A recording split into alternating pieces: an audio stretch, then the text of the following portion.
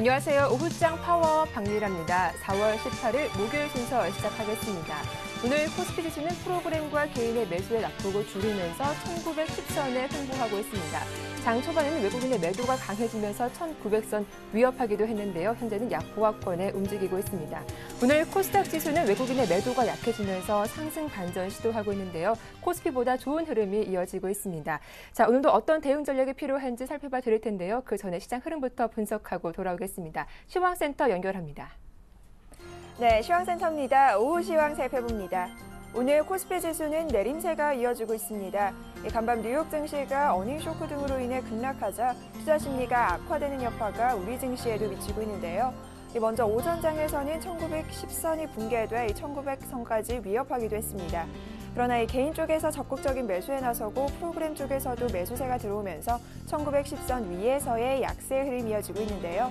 오후장 들어선 코스피 지수 현재 상황 살펴봅니다. 현재 코스피 지수 0.62%의 내림세입니다. 1911선에서 거래 중입니다. 이어서 수급 상황 살펴봅니다. 현재 코스피 시장에서는 개인이 오늘 2천억 원이 넘는 매수 우입니다. 오늘 역시 기관과 외국인 쪽에서 나오는 매도 물량 개인 쪽에서 받아주는 모습인데요. 반면 외국인은 오늘 닷새째 매도 우입니다. 이어서 코스닥 살펴보겠습니다. 오늘 코스닥 지수는 변동성이 확대되는 모습 나타내고 있습니다. 상승과 하락을 오가며 혼조 양상 나타내고 있는데요. 오후장 들어서는 이 하락으로 방향성 잡은 모습입니다. 현재 코스닥 상황 살펴봅니다. 현재 코스닥 지수는 0.05%약 보합권입니다. 558선에 거래 중입니다. 이어서 코스닥 수급 상황 살펴봅니다. 현재 코스닥 시장에서는 개인이 매수 우입니다. 외국인도 소폭이나마 4억 원의 매수로 전환한 모습입니다. 반면 기관 쪽에서는 88억 원의 매도 우위 나타내는 모습입니다. 이어서 환율 살펴봅니다. 오늘 환율은 이틀째 상승 흐름입니다. 이 대내외적인 경기 우려감이 돌고 있기 때문인데요. 현재 환율 상황 살펴봅니다. 현재 환율은 40전에 오른세입니다. 이 상승폭이 좀 축소된 모습인데요. 현재 1118원 90전에 거래 중입니다. 이어서 코스피 시가총액 상위 종목 살펴봅니다. 대장주인 삼성전자 낙폭이 확대되는 모습입니다. 현재 1%대의 하락 흐름입니다. 150만 원 선 붕괴된 모습인데요. 현재 149만 9천 원에 거래 중입니다. 이어서 현대차 역시 오늘 하락 흐름입니다. 이 오전장에 비해서는 낙폭이 좀 축소되기는 했지만 1년 반 만에 18만 원대로 내려앉은 모습인데요. 현재 현대차는 18만 9천 원에 거래 중입니다. 이어서 포스코가 약세 흐름, 다만 현대모비스는 강보합권에서의 흐름 지켜내며 27만 1,500원에 거래 중입니다. 이어서 코스피 시가총액 7위부터 12위 살펴봅니다. 기아차가 1%대의 하락 흐름입니다. 5만 1,200원에 거래 중인 모습이고요. SK하이닉스와 신한지주가 2%대의 하락 흐름, 이 시총 상위 12위 중에서는 LG화학만이 흐름이 좋습니다. 현재 2%대의 강세 보이며 24만, 9, 24만 9천 원에 거래 중입니다. 이어서 코스닥 시가총액 상위 종목 살펴봅니다. 대장주인 셀트리온 이 전일 13%대의 급락세가 이어졌는데요. 오늘 하루 만에 상승 반전 성공한 모습입니다. 이 셀트리온 서회장이 지분 매각을 번복할 수 있다는 가능성이 돌고 있기 때문인데요. 현재 셀트리온은 43,600원에 거래 중입니다. 이어서 파라다이스 역시 오늘 흐름 좋습니다. 2%대 강세인데요. 최고 실적이 전망되고 있는 가운데 8거래일째 상승세입니다. 이어서 CJ 오쇼핑과 GS홈 쇼핑이 1%대의 상승 흐름 이어지는 모습입니다. 이어서 코스닥 시가총액 상위 종목 7위부터 12위입니다. SK 브로드밴드 전일에 이어 오늘도 하락 흐름입니다. 1%대의 내림세 보이며 4,755원에 거래 중입니다. 오늘 시즌 역시 흐름 좋습니다. 이 4%대의 강세인데요. 현재 7만 600원에 거래 중입니다. 이어서 이 시각 특징 업종 및 테마 종목 살펴보겠습니다. 이 건설주와 조선주 주가가 이 수주 리스크 부각의 동반 내림세입니다. 삼성물산이 3%에 가까운 하락 흐름입니다. 59,200원에 거래 중이고요. 이 대림산업 전일에 좋은 실적을 내놓으면서 상승 흐름이 이어졌는데 그 약발이 하루 만에 끝이 나고만 모습입니다. 현재 약세 흐름 보이며 7만 9천 원에 거래 중입니다. 이어서 조선주 주가 살펴봅니다. 조선주 현재는 혼조 양상으로 돌아선 모습입니다. 현대중공업이 1%대의 하락 흐름, 이 오전장에서는 삼성중공업 역시 1%대의 낙폭이 이어졌는데요. 오후장 들어서면서 반등에 성공했습니다. 현재 32,150원에 거래 중입니다. 코스피 지수가 약세 흐름을 보이고 있는 가운데 이 경기 방어주인 음식료주 주가는 동반 상승 흐름이 이어지고 있습니다. 현재는 혼조 양상으로 음식료마저 돌아선 모습입니다. 이 오리온이 약세인데요. 현재 주당 3,000원씩 밀리는 모습입니다. 다만 하이트진로가 1%대의 상승 흐름 지켜내는 모습입니다. 태양광 관련주 주가가 이 폴리실리콘 가격이 하락됐다는 소식에 약세 흐름이 이어지고 있습니다. 태양광주 살펴보겠습니다. 현재 대장주인 OCI가 4%대의 내림세입니다. 오늘 14만 1,500원에 거래 중이고요. 오성 LST 역시 4%대의 하락 흐름 보이며 현재 3,350원에 거래 중입니다. 간밤 애플의 주가가 이 실적 부진으로 인해 급락세에 빠진 가운데 이 애플 관련주 주가는 하락 흐름을 반면 25일 예약 25일 출시되는 이 갤럭시 S4 관련주 주가는 상승 흐름 보이고 있습니다. 먼저 애플 관련주부터 살펴보겠습니다. LG 디스플레이가 3%대의 내림세입니다. 현재 3만 350원에 거래 중이고요. 인터플렉스 역시 2%대의 내림세입니다. 인터플렉스의 경우 오늘 전년 동기 대비 적자 전환했다는 이 실적 우려감까지 함께 나타나고 있는데요. 현재 38,900원에 거래 중입니다. 이어서 실리콘웍스와 아모텍 역시 2%대의 내림세입니다. 이어서 갤럭시 S4 관련주 주가 살펴봅니다. 반면 양호한 흐름 이어지는 모습입니다. 인프라웨어가 5%대 강세, 디지털 옵틱이 3%대 강세 이어지고 있고요. 다만 세코닉스가 1%대의 조정 흐름 이어지는 모습입니다. 신공항 관련주 주가가 이 급등세가 이어지고 있습니다. 정부에서 남북권, 남북권 이 신공항 관련 로드맵을 마련했다는 소식이 전해졌기 때문인데요. 현재 상황 살펴보겠습니다.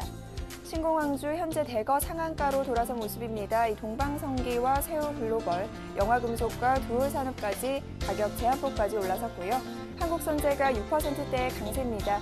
현재 2,140원에 거래 중인 모습입니다. 연일 상승 흐름을 이어가던 싸이 관련주 주가가 오늘 동반 하락세가 나타나고 있습니다. 이 싸이가 소속돼 있는 YG 엔터테인먼트가 4%대 내림세입니다. 낙폭이 더욱더 깊어진 모습이고요. 또 DI 역시 3%대 하, 하락세입니다. 이어서 오로라가 하한가까지 밀린 모습인데요. 이 오로라의 경우 싸이에 대한 캐릭터 판권이 국내에만 있는 것으로 전해지면서 현재 1,600원에 거래 중인 모습입니다. 지금까지 시황센터 김혜영이었습니다. 자, 전문가와 함께 시장 흐름 분석해 보겠습니다. 시장 중계석이 이어집니다.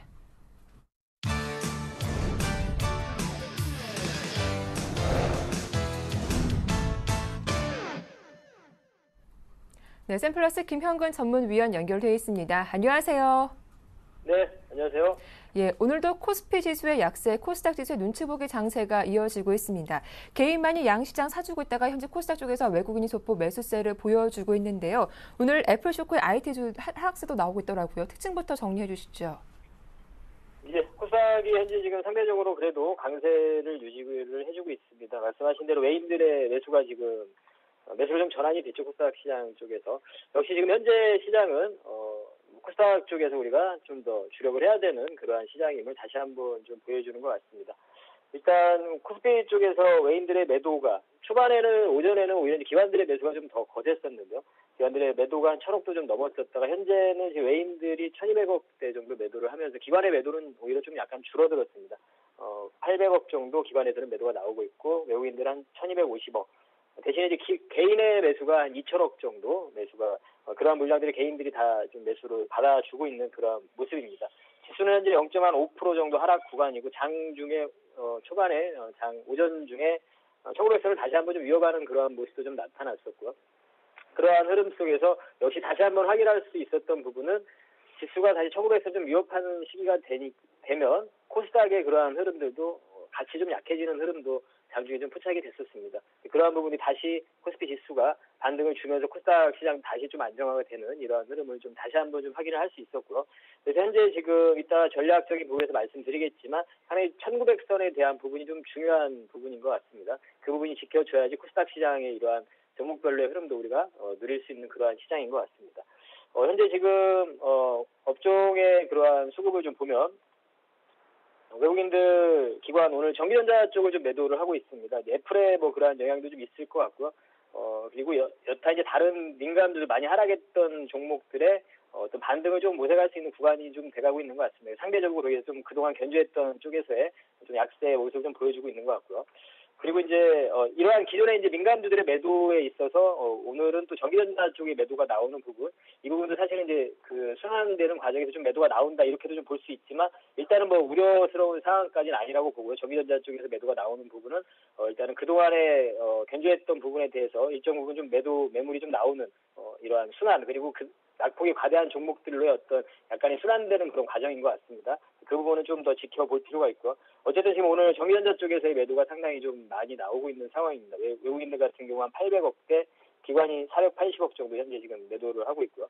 운수장비 쪽에서도 지금 매도가 나오고 있습니다. 기관과 외인들이 현재 자동차 부품주보다는 완성차 쪽에 대한 약세를 좀 보여주고 있고요. 그리고 이제 지금 화학업 쪽이나 이쪽은 지금 크진 않지만 외인 기관 동반 매수가 유입되고 있고요. 건설 쪽도 마찬가지고요. 아까 좀 전에 설명드린 부분이죠. 기존의 이제 낙폭이 컸던 기계 쪽도 지금 매수가 유입이 되고 있고요. 어, 철강 같은 경우는 이제 기관에서 매수가 유입이 되고 기존에 낙폭이 컸던 이러한 종목들로의 어, 일부 좀 매수세가 좀 유입이 되는 그러한 구간인 것 같고요. 그러다 보니까 기존에 좀 견조했던 이런 IT 쪽에서의 또 조정 그러한 부분이 또 애플이 지금 현재 주가가 어, 상당히 400불까지도 전일에 장중에 이탈되는 그런 흐름이 나타나면서 그런 조정의 좀 모습이 좀 나타나고 있는 것 같습니다. 어, 오늘 특징적인 그러한 업종을 보면 일단 전기전자 쪽 같은 경우 전반적으로 약세를 보여주지만 사실 OLED 관련한 쪽 장비 쪽 AP 시스템이라든가 뭐 ICD라든가 이러한 OLED 관련한 장비 쪽은 상당히 좀 강세를 좀 보여주고 있고요. 어, 현재 오늘 외인과 기관의 이러한 매도세가 좀 특징적입니다. 하지만 LG전자가 플러스를 좀 유지를 해주고 있는 모습이 상당히 좀 눈에 띄고 있고요. 음식료나 유통 섹터 그리고 전기가스, 한국가스공사 같은 경우는 또 강세를 보여주고 있고요. 어, 건설학, 철강 쪽들의 어떤 반등. 어제 전일에 이제 대림산업이 좀 실적 발표를 하면서 어, 전반적인 건설업황에 대한 업종에 대한 그런 우려 속에서 어, 생각보다 호실적으로 좀 발표를 하면서 반등을 주게 됐죠 대림산업이. 그러면서 지금 오늘 같은 경우는 현대건설이 좀 또 1% 정도 반등을 주고 있고요. 그리고 화학주 중에서 LG화학이 2%대 반등을 주고 있습니다. 어, 이러한 뭐 철강 쪽도 지금 어, 지금은 마이너스로 전환됐지만 현대제철도 반등을 좀 주고 있고요. 고려 고려아연 같은 경우도 한 2%대 지금 반등을 주고 있는 상황이죠.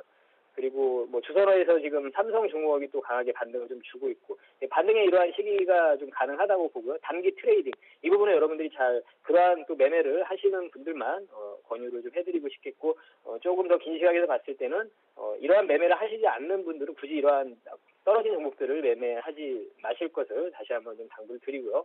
그리고 이제 현재 지금 의류 관련 쪽이라든가 뭐 카지노 관련 쪽, 태화에서는 뭐 신고항 관련 뭐 이런 쪽들 그리고 쌀 관련주들의 어떤 변동성들 많이 올랐기 때문에 그러한 또 변동성들이 나타나고 있는 그러한 시장의 특징을 좀 보여주고 있습니다.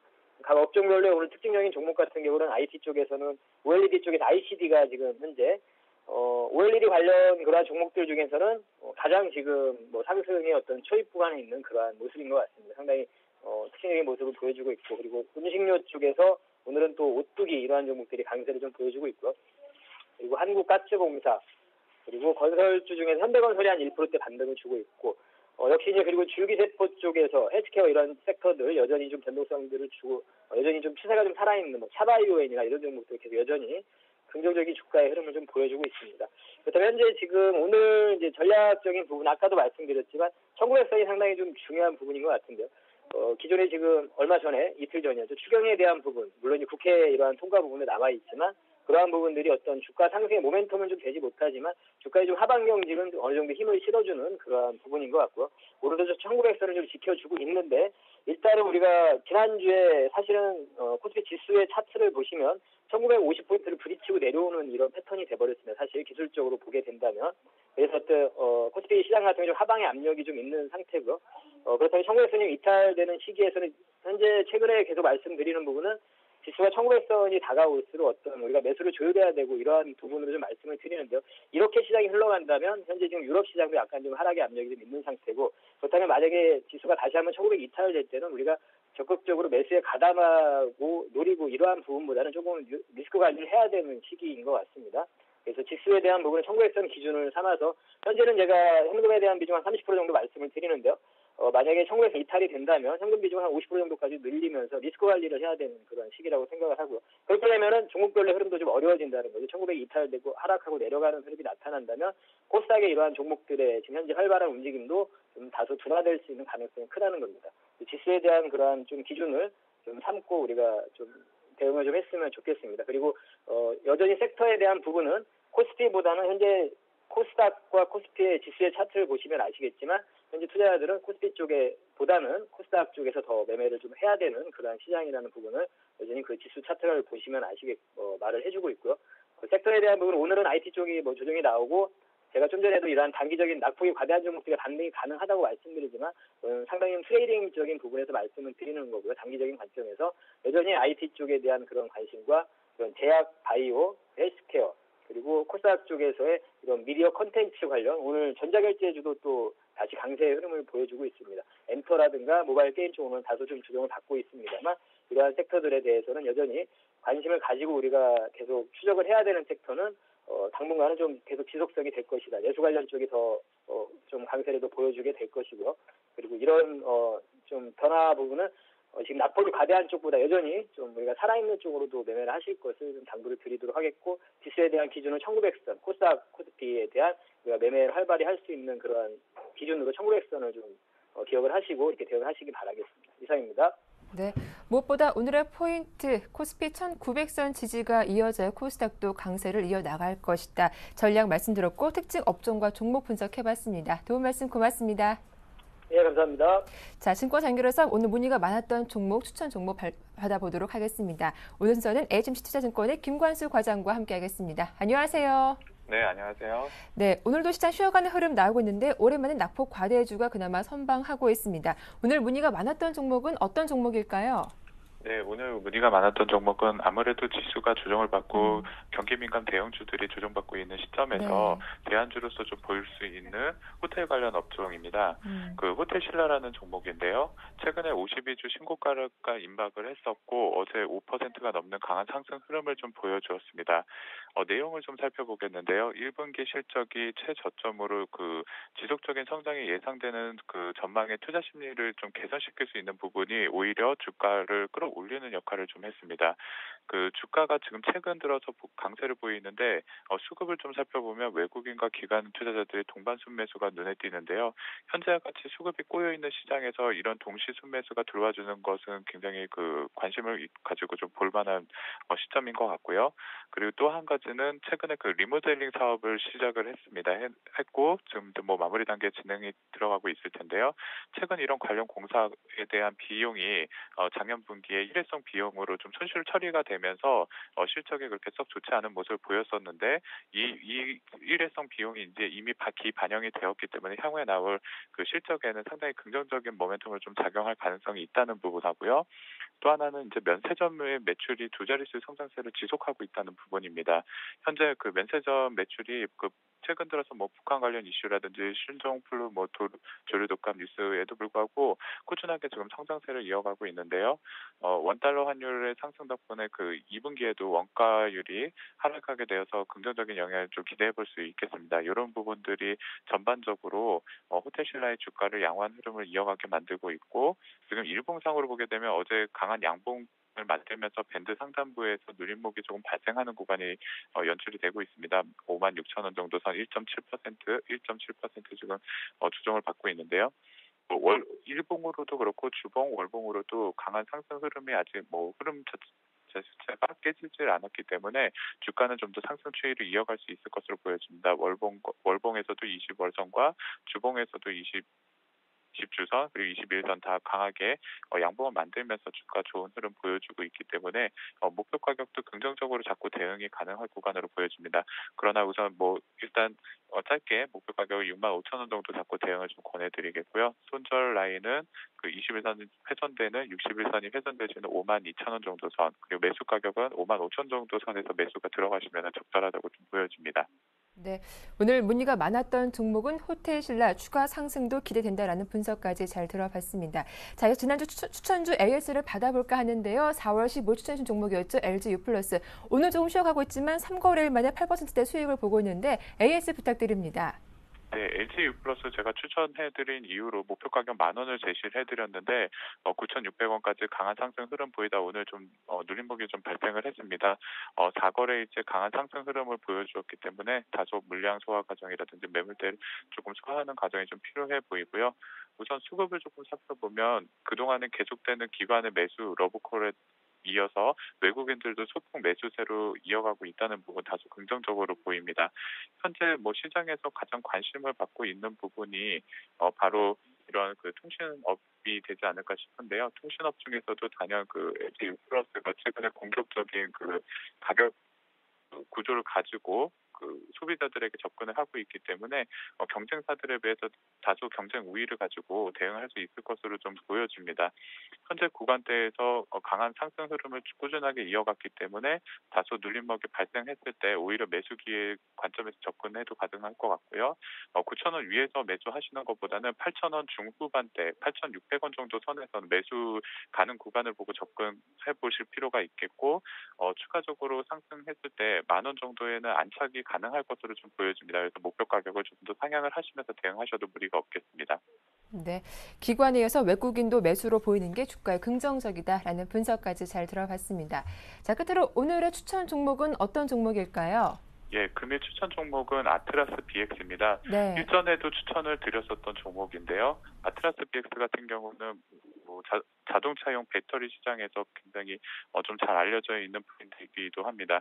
현재 이런 그 축전지를 만드는 회사들이 강한 상승 흐름이 보여지고 있는데 어, 세방전지라든지 아트라스 BX 이런 종목들이 대표적이라고 보여집니다.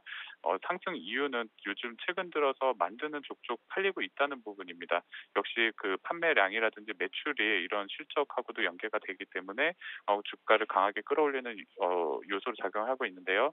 세계적으로 자동차용 배터리 시장의 그 성장성이 굉장히 그 부각을 나타내고 있고 필수 소모품이기 때문에 납치전지 수요도 계속 꾸준하게 늘고 있다는 부분을 좀 관심 있게 어, 체크해 보실 필요가 있겠습니다.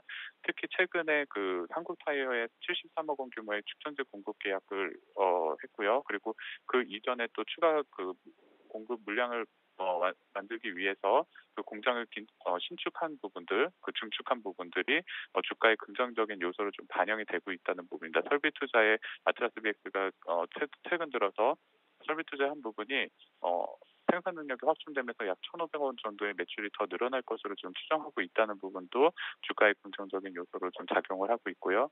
어, 꾸준하게 동남아 그리고 중동의 수요가 급증하고 있다는 부분, 신규 생산 그량이 약 300만 개 정도가 증설 효과가 발생을 했기 때문에 현재는 오히려 낮은 밸류에이션을 적용해 줄 수 있고 투자적인 매력이 높아 보인다는 내용입니다. 그래서 현재 좀 수급을 같이 살펴보는데 수급도 외국인 기관의 매수가 조금씩 어, 보이고 있고요. 추가적으로 상승 가능 여부가 이제 가장 관건이 될 텐데요. 단기적으로 좀 급등을 많이 해준 부분은 분명히 있습니다. 3만 원대에서 4만 원까지 어, 좋은 긍정적인 주가 흐름을 좀 보여주었기 때문에 어, 주가가 다소 눌림목이 좀 발생할 수도 있겠습니다. 다만 월봉상으로 적삼병을 만들면서 장기적으로 좀 더 상승 추세를 이어갈 수 있는 구간을 만들었기 때문에 주가는 좀 더 긍정적인 흐름을 중장기적으로 보여줄 수 있다고 판단이 들어지고요. 현재 주가에서는 목표 가격은 한 5만 원 정도까지도 충분히 잡고 대응을 가능하겠습니다. 매주 가격은 한 눌림목이 발생하는 가격권인 3만 9천 원 정도 선을 매주 가능하겠고요. 손절 라인은 어 현재 그 21선과 그다음에 21선이 훼손되어지는 3만 8천 원 정도 선에서 대응을 하시면 무리 없는 투자가 되겠습니다. 네, 아트락스 BX에 대한 대응 전략까지 잘 들었습니다. 도움 말씀 고맙습니다. 네, 감사합니다. 네, 지금까지 HMC 투자증권의 김관수 과장이었습니다.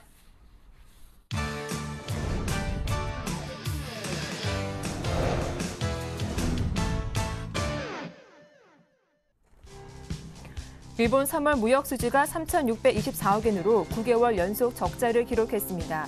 이는 시장 전문가 예상치 5,222억 엔보다 적은 수치입니다. 하지만 수출 증가와 수입 감소에 힘입어 적자 폭은 크게 감소했습니다. 애플 주가가 장중 한때 6% 가까이 하락하면서 400달러 선도 붕괴됐습니다. 이는 지난 2011년 12월 이후 최저 수준이며 애플 주가가 급락함에 따라 나스닥 지수도 2% 가까이 떨어졌습니다. 한편 애플 주가 급락은 아이폰 칩 과잉 공급에 대한 우려 제기로 촉발됐습니다. 미국의 소규모 독립신용평가 기관인 이건 존스가 독일의 국가 신용 등급을 A+에서 A로 한 단계 강등했습니다. 이건 존스는 독일이 GDP 대비 보유하고 있는 유로존 위기국의 국채와 은행채 비율이 지속적으로 증가하고 있다면서 등급 전망을 부정적으로 제시해 추가적 강등도 시사했습니다. 정부는 주가 조작 근절을 위해 금융위원회 직원의 특별 사법 경찰권을 부여한다고 밝혔습니다. 이와 함께 불공정 거래로 징역형 선고받을 경우 벌금과 함께 부당이득의 두 배를 추징키로 했습니다. 또한 제보 포상금도 20억 원으로 대폭 상향됩니다. 네, 오늘장 주요 이슈 분석해 보겠습니다. 오늘 순서는 삼성증권의 김용구 연구원과 함께합니다. 안녕하세요. 안녕하십니까.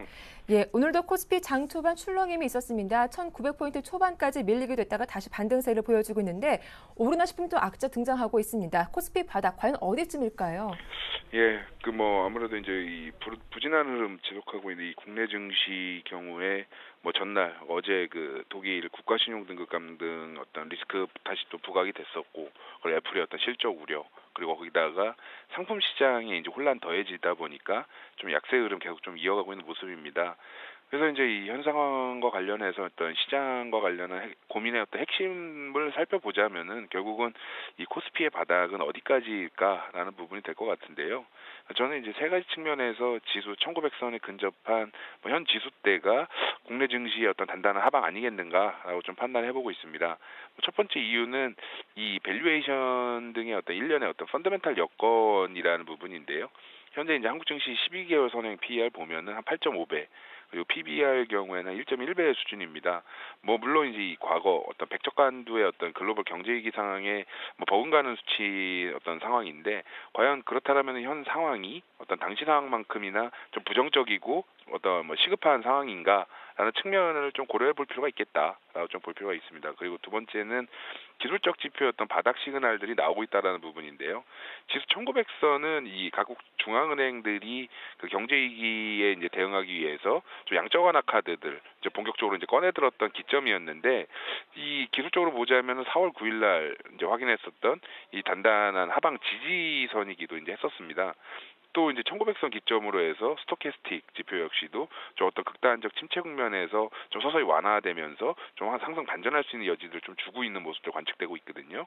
그리고 세 번째는 이 최근 1년의 어떤 이 안전자산 군 내에서 이 1900선 기점으로 해서 어떤 균열들이 발생하고 있다라는 부분이 될 필요가 있는데요. 이 아베노믹스 본격화되면서 일본 엔화 같은 경우에는 이 안전자산군에서 좀 본격적으로 좀 이탈하는 모습 나오고 있고 또 최근 뭐 볼 수 있듯이 뭐 금이나 은 등의 어떤 귀금속 역시도 안전자산으로서의 어떤 지위들을 좀 많이 의심받고 있는 상황입니다. 이제 남은 거는 이제 미국 달러나 뭐 미국 국채 정도 될 건데 물론 어떤 이러한 현상들이 뭐 저희가 예서 많이들 얘기했던 어떤 great rotation의 어떤 충분 조건은 아닐 수는 있겠지만 뭐 필요 조건의 일부라는 사실은 좀 부인할 수는 없을 것 같습니다. 따라서 이러한 어떤 세 가지 요건들 고려해 봤을 때 지수 1900선은 좀 어떤 좀 믿을 수 있는 신뢰감 있는 어떤 하방 지지 구간 아니겠는가라고 좀 볼 수 있겠습니다. 네, 코스피 1900선은 바닥이 될 것이다. 그 근거를 세 가지 포인트로 정리해 주셨습니다. 글로벌적으로 시선을 돌려보면 오늘 밤 G20 재무장관 회담이 열리게 됩니다. 요즘 뜨거운 감자인 엔젤대에서 집중 공격할 것으로 예고가 되고 있는데 이번 회담에서 기대할 만한 부분 짚어주시죠. 예, 뭐 말씀하신 대로 이제 18, 19일 양일간 이제 G20 재무장관 및 그 중앙은행장 회의가 이제 워싱턴에서 열릴 예정인데요. 회의 이제 좀 주목할 만한 부분은 이 아베노믹스가 이제 본격화된 이후에 그 엔저 중심으로 해서 그 계속 이제 나오고 있는 일본의 어떤 근린궁 피크파 정책에 대해서 좀 제동을 가할 수 있는가 하는 부분이 좀 될 거라고 보고 있습니다. 일단 지금 뭐 공동성명 초안 보면은 사실상 이제 이 엔저를 좀 경계하는 문구가 삽입된 걸로 알려지고 있고요. 또 미국 재무장관 역시도 G20은 이 G20 국가들은 이 근린궁 피크파를 좀 피해야 한다라고 좀 언급한 바 있고 또 며칠 됐죠. 그 최근 발표된 이 환율 정책 보고서, 미국 환율 정책 보고서 같은 경우에도 일본의 어떤 환율 정책을 좀 비난한 부분이 있기 때문에 이러한 부분들이 좀 어떤 엔화의 어떤 추세로 연결될 것이다라고 보고 있는데요. 이 아무래도 이제 상승일로 치닫고 있다 이 엔달러 환율 추세가 잠시간 이제 휴지기로 접어든다라면은 이 어떤 우리나라 그간 좀 안 좋았 어떤 시세 부분에서 좀 약세 보였던 IT나 자동차 업종의 어떤 반등 논리로 연결될 수 있는 거 아닌가라는 측면을 좀 보고 있습니다. 네, 이제 4월 셋째 주도 끝을 향해 달려갑니다. 양 시장에서 내수주들이 또 강하게 움직이고 있던데요. 오후장 전략 끝으로 살펴봐 주시죠. 예, 뭐 결론적으로 뭐 종합해 보면은 뭐 지수 1900선 근접한 현 지수 구간은 완연한 바닥이다라고 좀 보고 있습니다. 뭐 어떤 깊게 패인 이제 상처 어루만지면서 뭐 추가 하락 걱정하는 것보다는 단단한 어떤 지수 하방에 기대서 좀 결사항전하는 게 어떤 전세 역전에는 효과적이지 않겠는가라고 좀 말씀을 드리고 싶고요. 뭐 이미 여러 차례 이제 계속 말씀드렸습니다만은 아무래도 이제 첫 번째 투자 대안은 이 어떤 이 주식형 그 중에서도 지수형 상품에 대한 관심이 될 것 같습니다. 지수형 ETF나 뭐 주식형 펀드, 인덱스 펀드, 뭐 랩어카운트, 뭐 지수형 ELS, 뭐 각각 뭐 이제 상품명들은 다들 다르지만 시장 전반의 어떤 상승과 그 궤를 같이 한다는 측면에서 아무래도 이러한 상품들의 어떤 진입 시점으로는 어떤 천재일우의 어떤 기회가 아닌가라고 좀 보고 있고요. 그리고 이제 두 번째는 실적 모멘텀도 긍정적인데 앞서 말씀드렸던 대로 어떤 엔의 어떤 휴지기 돌입에 따른 어떤 낙폭 회복 뭐 만에 이 정도 기대될 수 있는 IT 자동차 그리고 관련 부품주들 계속해서 봐야 되지 않을까라고 판단합니다. 이상입니다. 네, 1900선 초반은 완연한 바닥이다. 지수형 상품에 관심을 갖는 것도 하나의 대안이 될 수 있다라는 분석이었습니다. 도움 말씀 고맙습니다. 예, 감사합니다. 네, 삼성증권 김용구 연구원의 분석이었습니다.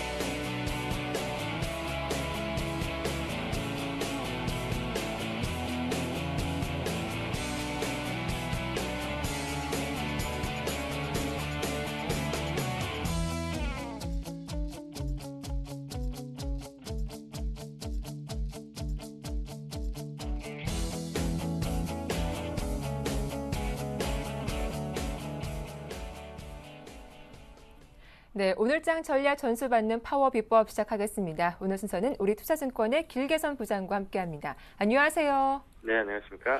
예, 오늘 코스피 지수 주요 이평선 아래에서 움직이고 있습니다. 외국인과 기관의 매도가 부담을 주고 있는데요. 추경 발표에도 모멘텀을 크게 받지 못한 것 같습니다. 오늘장 특징부터 정리해 주시죠. 네, 최근에 증시는 체력적인 한계를 좀 많이 보이고 있고요. 모멘텀이 약화되는 국면 속에서 헤어나지 못하고 있다. 이렇게 판단을 해보셔야 됩니다. 전체적으로 외국인들의 매도 어떤 수급 자체는 지속적으로 돼 왔기 때문에 그것 자체의 원인을 돌리기에는 좀 이미 늦은 것 같고요. 최근에 시장이 약세를 보이고 있는 그런 가장 큰 배경에는 자산 디플레가 심화되면서 결국은 시장 내 강력한 어떤 경기 부양을 위한 정책적인 배, 배경과 조치가 충분히 뒷받침돼야지만 시장이 모멘텀을 찾을 수 있을 것으로 저는 기대를 하고 있습니다. 따라서 지금은 개별 종목의 탄력이 일부 좀 둔화될 것으로 예상되지만 대형주에 기댈 수 있는 부분이 상당히 약화돼 있다고 보시면 되는데요. 최근에 정부에서 어, 재벌 정책 에 대해서도 상당히 강력한 어떤 그 칼을 꺼내드는 그런 상황이고 실제로 경제 민주화를 바탕으로 해서 어떤 가중 처벌에 대한 어떤 부담을 늘린다든지 여러 가지 그 경영 위축과 역차별을 우려하는 과정에서도 상당히 시장에 대해서는 경제 민주화 실천을 위한 정책적인 어떤 법안들이 줄 잇고 있다고 평가하시면 지금 자체가 대형주의 모멘텀을 찾기엔 시간이 많이 걸릴 것이라 보셔야 될 것 같고요. 최근에 정부의 어떤 경제부총리나 경제 5단체장이 카지노 등을 방문하거나 또는 최근에 주가 사, 조작 사건 등에 대해서 검찰이 직접 패스트 트랙 제도를 도입해 가지고 강력하게 자금 환수 제도를 도입하겠다고 하는 그런 여러 가지 그, 그 경, 정책의 어떤 일련의 절차들을 봤을 때는 지금 대형주들 가지고 증시 체력을 복구시키기에는 시간이 많이 걸릴 것으로 보셔야 됩니다.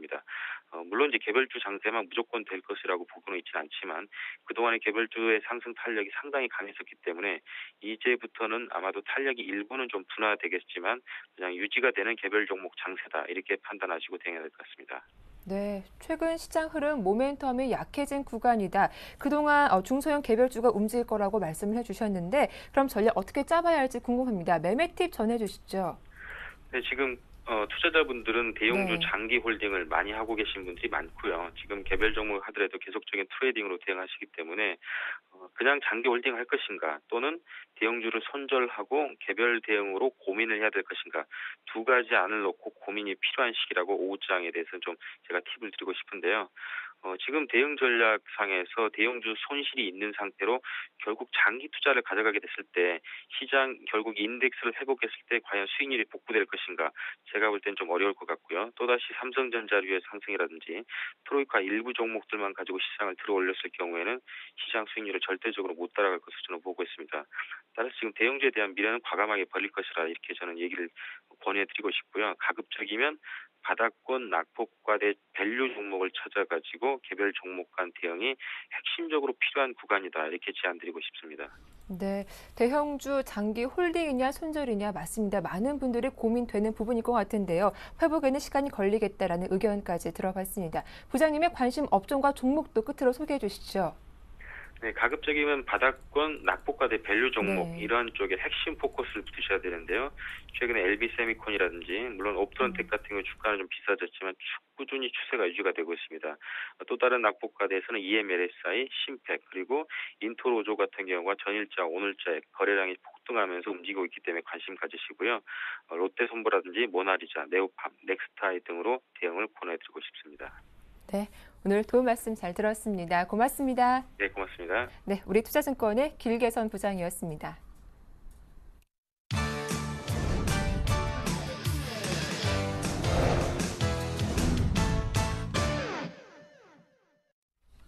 네, 구체적인 오후장 전략과 포트폴리오 짜보는 시간 갖도록 하겠습니다. 오늘 순서는 와이즌베스트 심기원 대표와 함께하죠. 안녕하세요. 안녕하십니까. 자, 이번 주 거래일도 얼마 남지 않았습니다. 오늘 시장도 역시 눈치 보기 방향성 탐색에 주력하고 있는데요. 업종별로 보면 상당히 분위기가 다른 것 같아요. 체크 포인트부터 정리해 볼까요? 네, 우선 말씀해 주셨던 대로 상당히 업종 흐름에 있어서 온도차가 상당히 심각하게 좀 나타나고 있다라고 정리해 드릴 수가 있겠습니다. 그 이유 같은 경우에는 뭐 여러 가지가 있겠지만 우선은 수급 불안이 계속적으로 가중화되면서 어, 투자 심리가 안 좋은 업종과 종목에 있어서는 계속적으로 안 좋아지는 모습 반대로 어, 시장 대비 어느 정도 대안주로서 역할을 해주는 종목 같은 경우에는 투자 심리가 빠르게 회복되고 있기 때문에 분명하게 극각의 형태가 계속적으로 띄고 있다라는 거 오늘 장에서도 이어지고 있다라고 정리해 드릴 수가 있겠고 가장 중요한 거 역시나 외국인들에 대한 매도세가 지속되고 있다라는 거 현재 시점도 현 선물 전부 다 매도세를 보이고 있습니다. 또한 코스타 거래소 할 것 없이 매도세가 일관되고 있다라는 거 셀코리아에 대한 우려감이 어느 정도 남아 있기 때문에 어, 지수 낙폭이 어느 정도 현재 시점 약간은 나오고 있다라고 정리해 드릴 수가 있겠고 해외 증시에서 여러 가지 좀 실적 부진이라든가 약간 우려감 그리고 뭐 테러와 관련된 그러한 좀 얘기가 나오면서 증시가 상당히 부진했다는 측면을 놓고 봤을 때 우리 증시 약간은 조정 가능성도 어느 정도 염두하실 좀 전략이 필요할 수 있을 것으로 판단되고 있고 어, 그, 어, 그, 그 밖에 어, 하지만은 패션 업종 같은 경우는 상당히 좀 강세 흐름 보이고 있습니다. 덕성을 비롯한 베이직 하우스를 필두로 해서 뭐 한성 같은 종목군들도 오늘 장에서는 2.3%대 상승 흐름 보임에 따라 갖고 실적 전망치가 많이 낮아졌기 때문에 오히려 그것이 기회가 되면서 약간 투자 심리가 살아나고 있다라는 거 기억을 하자라고 정리해 드릴 수가 있겠고 어, 건설 업종과 항공 업종 뭐 투자 심리가 살아나고 있다고 보기는 어렵지만 어쨌든 간에 급락세가 약간은 멈춰주고 있는 모습 보이고 있습니다. 물론 GS 건설이라든가 대림 산업이 약간 하락 흐름 보이고 있지만은 현대건설이 약간 상승세 보이고 있다라는 거 어쨌든 간에 상승 전환에 대한 기대감이 높아지는 건 아니지만은 급락세가 멈췄다라는 거 오늘 장의 특징이다라는 거 꼭 기억을 해보자라고 정리드리면서 뭐 전체적으로 테마주들의 흐름에 있어서도 좀 강세 테마 보이고 있는 그러한 종목군들은 뭐 곡물 관련된 종목군이라든가 모바일 결제 관련주들이 상당히 강하게 움직이고 있습니다. 따라서 뭐 코스닥 시장 하락 흐름 보이고 있지만은 가는 종목이 가고 또 어, 가는 테마에 있어서는 어느 정도 투자 심리가 살아나고 있다라는 거 꼭 기억을 하실 필요 있지 않을까라고 말씀드리도록 하겠습니다. 네, 뭐 수급이 돌아오지 않으면 시장 약세가 더 이어질 것이다. 앞서 다른 전문가님 1,900포인트 바닥이다라고 말씀해 주셨는데 좀 다른 것 같습니다. 오늘 추천 종목도 들고 오지 않으셨더라고요. 그 이유가 있습니까? 네, 우선은 거래소와 코스닥 좀 나누어서 네. 말씀드리면 물론 뭐 1900포인트에 대한 지지 라인은 상당히 좀 강하게 작용할 수밖에 없다라고 말씀을 드리는데 사실 네. 와- 어, 완전하게 지금 무조건 바닥이라고 확인하기 좀 어려울 것으로 판단되고 있습니다. 어. 그 이유 같은 경우에는 역시 앞서 말씀드렸던 외국인들에 대한 매도 물량이 계속적으로 좀 부담 감이 되고 있고 음. 시장을 외국인들에 대한 매도 물량은 어느 정도 받쳐주었던 연기금을 비롯한 어, 기관의 매수세가 상당히 줄어들고 있다라는 것을 한 번쯤은 생각해 보실 필요 있지 않을까라고 말씀드리면서 1900포인트에 대한 지지 라인이 확보되지는 못한다 이렇게 말씀드리는 게 아니고 어느 정도는 이탈 가능성도 상당히 좀 열어두, 어, 열어두시는 전략이 필요할 수 있을 것으로 판단되고 있고 그렇다면은 과거에는 이러한 상황에 있어서는 코스닥 시장에 대한 기대감이 높아질 수가 있는데 사실 코스닥 지수 뭐 아시겠지만 어제장 563 선까지 올라가는 모습 보였습니다. 따라서 다시 한번 이 555포인트 이상에 있어서의 부담 라인, 저항 라인에 대한 우려감이 현재 시점 나올 것으로 예상이 되고 있고 520포인트에서 워낙 급등 양상 보였다라는 측면은 오히려 이 코스피 시장이 약세 흐름 보인다라고 한다면 이제는 반사 이익이 아닌 약간의 매물 동반 매도세가 약간 나올 가능성이 높을 것으로 판단되고 있기 때문에 사실 이번 주 어, 코스피라든가 코스닥 어디 양시장에 무조건적으로 매수를 가, 어, 가하기에는 상당히 리스크가 있을 것으로 판단되고 있기 때문에 우선은 관심 종목은 이번 주는 약간은 좀 관망하시는 전략이 필요하지 않을까라는 의견 드리도록 하겠습니다. 네. 자, 이어서 심경 대표님의 지난주 포트폴리오 현황 화면으로 정리해 보겠습니다. 예, 포트에 총 8개 종목이 담겨 있습니다. 현금 비중은 45%고요. 파라다이스가 15%, 모두투어가 10%, 그 외 종목의 비중은 5%입니다. 수익률도 확인해 보겠습니다. 네, 현재 루멘스가 마이너스 6.8% 손실을 기록하고 있고 그 외 종목도 모두 플러스권에 움직이고 있습니다. 수익률 1위는 파라다이스, 네, 다음 종목 살펴보겠습니다. 파인 디지털도 4.9%, 5% 가까이 수익률 보여주고 있고 슈프리마가 매수가 근처에서 속보 플러스권이고 SK 하이닉스가 마이너스 1.8% 손실 보이고 있습니다. 자, 관련 종목들 AS 바로 받아볼 텐데 오늘 먼저 SK 하이닉스부터 AS 해보고 싶습니다. 어제까지 흐름 좋았는데 오늘 좀 초반에 갭하락으로 출발하면서 흐름이 좋지 않거든요. 이 종목은 어떻게 보시는지요? 네, 우선 SK 하이닉스 같은 경우에는 뭐 결론적으로 말씀드리면 사실 애플과 관련된 그런 네. 우려감이 우리 증시 약간 IT 업종에 있어서 단기적으로 악재로 현재 작용하고 있는 것이 아닌가라고 말씀드릴 수가 있겠습니다.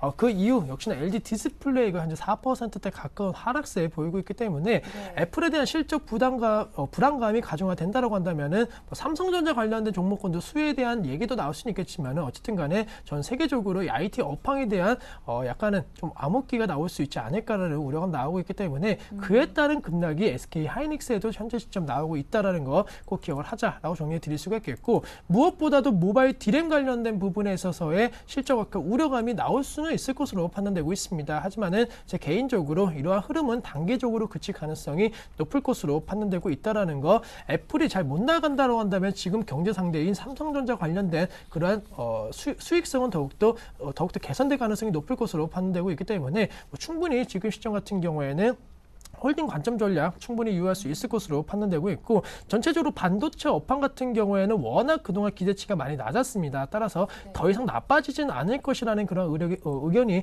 계속적으로 나오고 있기 때문에 우선은 지금 시점 추세적으로는 2만 3천 원대에서 단기 상승 가능성은 계속적으로 열어두시는 전략 다시 한번 3만 원대 이상에 대한 목표 설- 목표가 설정은 충분히 유효하다라는 것 꼭 기억을 하자라고 말씀을 드리겠고 또 어, 다음 보실 종목 같은 경우 상당히 오랜 기간 동안 들고 있었는데 파라다이스에 대해서 좀 언급을 한번 드리려고 하고 있습니다. 사실 네. 9월 달에 매수를 해갖고 지금 시점 수익률이 어느 정도 나 있는데 이제는 팔 때가 되지 않았나라고 생각하시는 분들 상당히 많으실 걸로 판단되고 있는데 오늘 장에서 52주 신고가 다시 한번 경신되고 있는 모습 보이고 있습니다. 그만큼 시장의 관심도가 많이 높아지고 있고 뉴스라든가 이 계속적으로 지금 나오는 이슈를 잘 보신다라고 한다면은 이 카지노 관련된 업황이 호황을 보일 수 있다라는 그리고 여러 가지 수익성이 개선될 수 있다라는 뉴스가 계속적으로 나오고 있습니다. 파라다이스뿐만이 아니고 GK까지도 그러한 뉴스 그리고 그러한 흐름 속에서 52주 신 고가를 경신하고 있기 때문에 비록 산지는 오래되었지만은 어, 수익률이 많이 난 상황에서 좀 더 올라가 준다라고 한다면은 계좌 수익률은 더욱더 극대화될 수 있을 것으로 판단되고 있기 때문에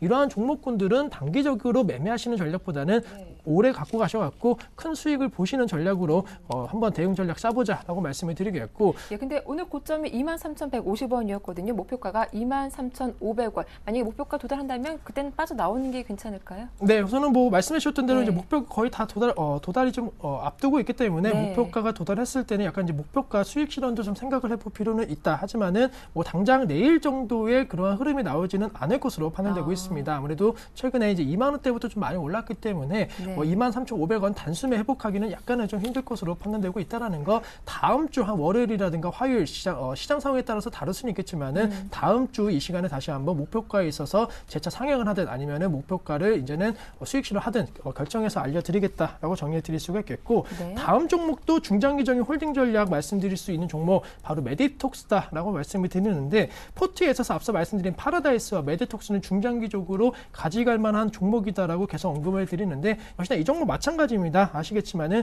전체적인 피부 미용 관련된 어, 지금 시점 기대감 계속적으로 작용을 하고 있고 이미 지난주 같은 경우에는 목표가는 아니지만은 목표가보다 살짝 아래인 가격대인 네. 어, 12만 4,500원대까지 올라갔기 때문에 뭐 어쨌든 간에 목표가 근처에서 움직이고 있다. 하지만은 제 개인적으로 이 종목 만약에 다음 주에 목표가는 도달했을 경우에는 파라다이스와는 약간은 다르게 어쨌든 이 종목 같은 경우에는 매수한 지가 한 두, 어, 2월 달에 매수를 했기 때문에 좀더 네. 들고 가는 전략 도 한번 좀 고려해 볼 필요 있다라는 거 음. 역시나 다음 주 다시 한번 정리해서 말씀드리겠다라고 정리해 드리겠고 어, 슈프림에 대해서 좀 말씀을 드리면은 슈프림은 어, 상당히 좀 그 낙폭이 좀 컸습니다. 아무래도 코스닥 시장에 어, 최근 들어왔고 4월 초 코스닥 급락이 나오면서 이 종목도 급락선 나왔지만은 코스닥 지수와 마찬가지로 반등 강도가 상당히 나오고 있다라는 거 시장 대비해서 뭐 강세 흐름이다라고 말할 수는 없지만 어쨌든 시장의 흐름을 그대로 따라가고 있다라는 것을 한 번쯤 생각해 볼 필요가 있을 것으로 판단되고 있기 때문에 시장에서 소외되지 않는다라는 것만으로도 이 종목에 대해서는 수급이 어느 정도 뒷받이 된다라는 거 그리고 실적이 어느 정도 나을 것이라는 것을 주가에서 조금은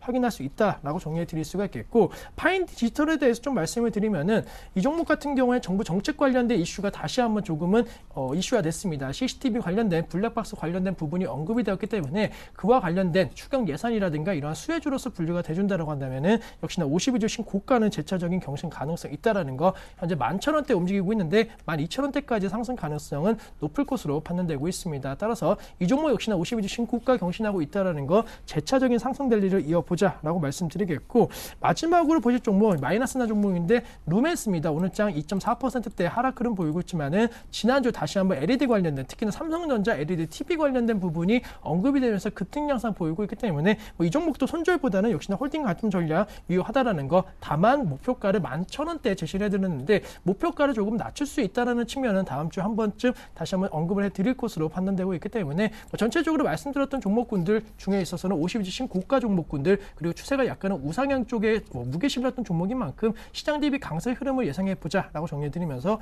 홀딩 관점 전략 대부분 종목군들 유효하다라는 거 꼭 기억을 하자라고 말씀드리도록 하겠습니다. 네, 이렇게 제가 루멘스까지 AS 받아봤습니다. 자, 이어서 심기환 대표님의 최종 포트폴리오 다시 한번 정리해 보겠습니다. 네, 새로 편입된 종목이 없는 관계로 종목 순위 그대로 8개입니다. 현금 비중은 45%입니다. 네, 파라다이스와 메디톡스 포함해서 목표가 근처 포함해서 기존 전략 그대로 유지하자라는 전략이었습니다. 네, 이어서 파인 디지털과 슈프리마, SK 하이닉스도 그대로 목표가까지 홀딩해보자라는 전략이었습니다. 네, 오늘 순서는 와이즈인베스트 심기환 대표와 함께했습니다. 오늘 수고 많으셨습니다. 네. 장 마감까지 한 시간 정도 남았는데요. 어, 현재 코스피 지수 좀 낙폭을 더 키우고 있습니다. 끝까지 현명하게 대응하시기 바랄게요. 오후장 파워업 여기서 마치겠습니다. 함께해 주셔서 고맙습니다.